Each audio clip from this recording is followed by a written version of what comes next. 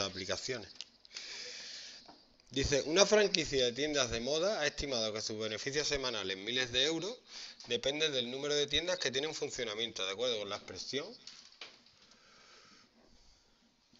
A mí de optimización me gustan los problemas de calcula el volumen máximo óptimo que tiene que tener según el área. No sé qué, son más chulos. Entonces, a ver si tiene sentido esto. Dice, eh, estimado, los beneficios mensuales dependen del número de tiendas. Si tienes muy pocas tiendas no ganas mucho dinero. Si tienes demasiadas tiendas, no entra tanta gente a comprar. Tiene muchas tiendas. Y tiene una tienda y enfrente tiene otra de lo mismo. Al final vende lo mismo. En la misma tienda. En la cañada. Tiene mango y enfrente otro mango. Y yo estoy haciendo esto. Entonces hay un número óptimo de tiendas para sacar el máximo beneficio. Dice, el número de tiendas que debe tener para maximizar sus beneficios. ¿Qué tengo que hacer? Este ya es más bonito, una derivada. Este, lo mismo que antes. Esta sí va a tener solución, ¿no? Porque si no es muy feo. ¿Truco? ¿Hay algún truco? ¿Hay algún truco para hacer esto? Pues sí lo hay, porque puedo dividir todo entre menos 24.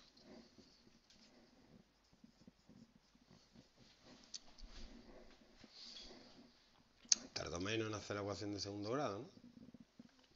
Bueno.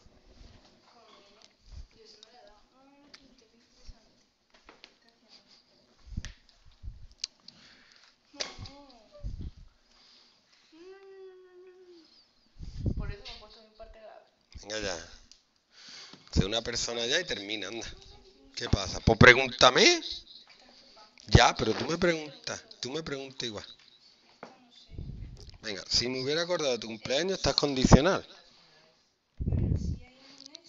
Sí, es un nexo de condicional. Subordinada adverbial condicional. Yo el- me hubiera acordado el verbo de tu cumpleaños complemento de régimen. De tu cumpleaños. Acordarse siempre te acuerdas de algo. Te, a ti, indirecto, habría traído el verbo. Yo, el sujeto omitido, un regalo complemento directo. Venga. Y esto es subor el nexo. Y esta es subordinada adverbial. No, no, ahí no. Eso es las adjetivas nada más. En las adverbiales y en las sustantivas, no. ¿Habéis hecho esto ya o no? Venga. Y ya, venga que me enfado. Si lo estoy haciendo, si tengo más hecho que ella. Ya, Y se compara con la otra. Porque eres más grande, ocupas más. Sí, sí, sí. Venga ya. Y encima que te llevo a tu casa en el coche. Su- ahora te estás echando en cara. Super rastrero. Super rastrero no estudia. Venga. Estudia ya y hace los ejercicios. Pero si lo estoy haciendo. ¿Cuánto da? Uno da 0,21 y la otra da Para mí que no, ¿eh?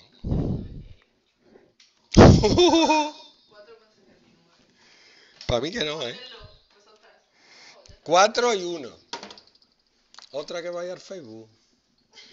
¿A? Tú, que le ves una foto a la misma de esa que hecho y vaya al Facebook.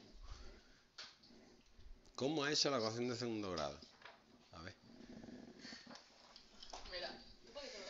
Es que son ganas de que yo me ría. 4 por 4, 4. Tócate los huevos. Es que no está concentrado, está pensando Que menos 4. En Jamie Dorman y ya se le va la perola. 4 por menos 1 por menos 4. ¿Pero por qué lo hace con la calculadora? Claro, pues lo tiene que hacer con la cabeza.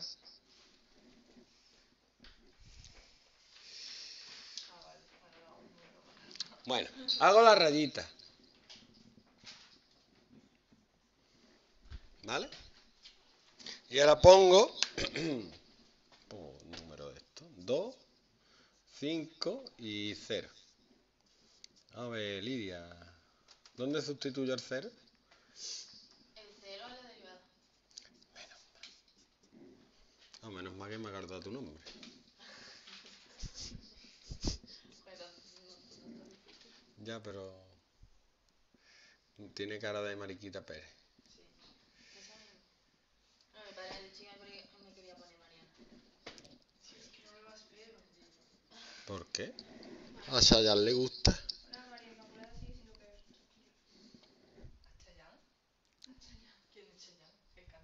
Sí. Mira la discografía de Chayanne. ¿Qué has Mariana? Mi amor, ¿qué Mariana? ¿No? ¿Esa es la canción? En fin. Decreciente, creciente, decreciente.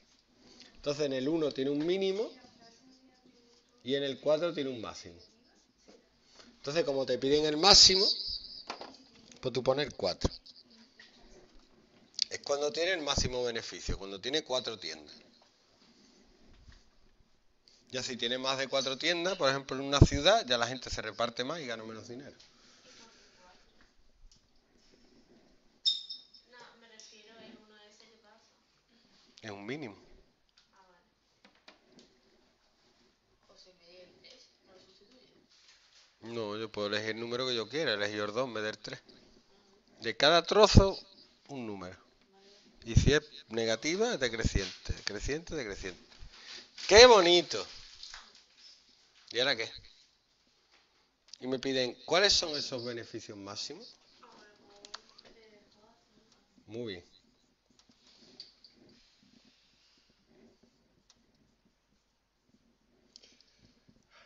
Qué bien me lo he pasado hoy.